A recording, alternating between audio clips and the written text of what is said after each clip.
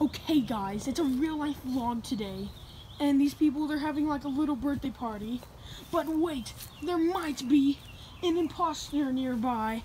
When the pinata sus.